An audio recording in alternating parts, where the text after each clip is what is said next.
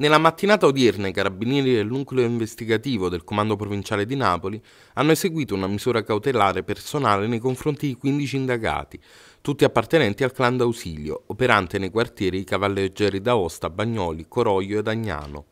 Sono ritenuti gravemente indiziati a vario titolo di associazione di tipo mafioso, omicidio, lesioni personali, detenzione illegale di armi, estorsione, favoreggiamento, ricettazione ed altro. L'11 maggio 2016 il detenuto d'Ausilio Felice, figlio dello storico capo clan Ausilio Domenico, detto Mimmio Sfregiato, lasciava la casa di reclusione di Tempio Pausania, dove stava scontando la pena dell'ergastolo per reati omicidio ed associazione di tipo mafioso, per godere di un permesso. Una volta uscito dal carcere, autorizzato a recarsi presso l'abitazione della sorella, libero e senza scorta, di fatto Ausilio si rese immediatamente irreperibile. D'Ausilio Felice, sebbene in clandestinità, imponeva il suo predominio per riconquistare il controllo delle attività criminali sui suddetti quartieri e fin da subito si registrò un'escalation di violenze con stese, pestaggi, atti intimidatori e dimostrativi posti in essere da soggetti a lui riconducibili per la ripresa e la gestione delle attività illecite sul territorio, in quel momento appannaggio del gruppo Bitonto Nappi.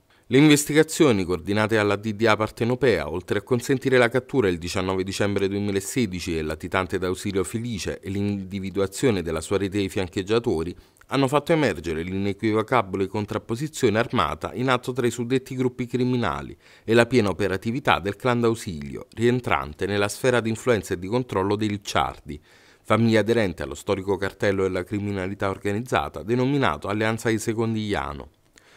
Inoltre sono state documentate numerose estorsioni in danno di attività imprenditoriali e commerciali, imprese edili, bar, officine meccaniche, lidi balneari, parcheggiatori abusivi, prostitute ed ormeggi di barche, con il pagamento, con cadenza periodica o una tantum, di somme di denaro tra 100 e 50 mila euro. Le indagini hanno permesso inoltre di acquisire importanti elementi probatori in relazione ad una gestione mafiosa dei parcheggi abusivi in prossimità dei locali notturni insistenti sull'area fregherea, che si concretizzava anche con azioni violente nei confronti degli stessi parcheggiatori, per costringerli a sottostare al dominio criminale e a versare una parte degli introiti illeciti alle casse del sodalizio, con il pagamento di una tangente di almeno 200 euro a settimana.